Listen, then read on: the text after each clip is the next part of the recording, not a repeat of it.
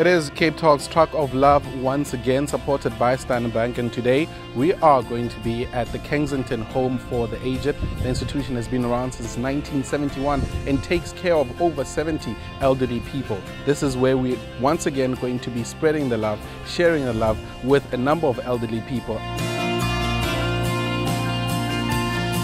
To Cape Talk, uh, thank you. You have made a commitment and you are fulfilling it.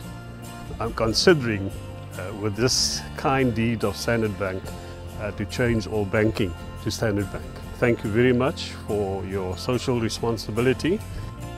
It's always humbling to um, help the needy um, and Standard Bank has got quite a large corporate social investment and it's awesome for us to actually be involved um, to actually see where the money goes that we donate and it's, it's lovely to see the smile and the joy that, that these small gifts and they really are small gifts bring to the elderly and specifically here at the Kensington Home of the Aged today. It's, it's an awesome honour.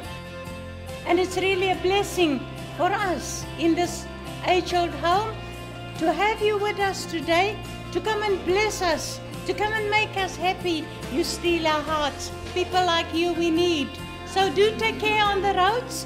We love you well, but Jesus loves you best. Amen.